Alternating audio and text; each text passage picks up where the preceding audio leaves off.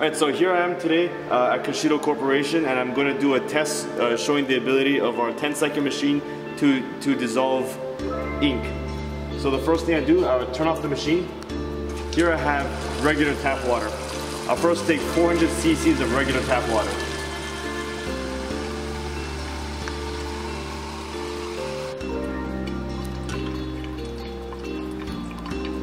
Now over here I have blue ink, the same ink that you would find inside a computer printer.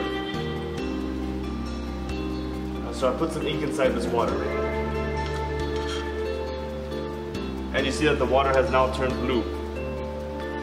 Now I'm going to pour half of the water into each of these cups.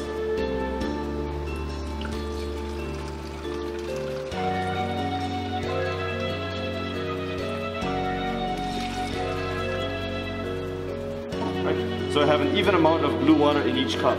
Now in this first cup, I'm going to add our standard tap water.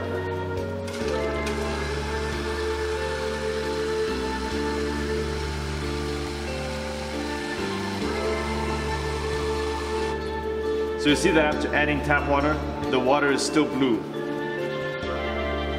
Next, I turn on our 10 second machine ozone generator. Now this is now creating ozone water. I'm going to add ozone water into this cup.